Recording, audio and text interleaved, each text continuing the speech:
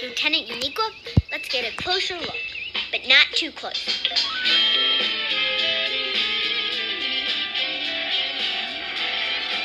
Captain, I can't slow the ship down. We're being pulled into that moon.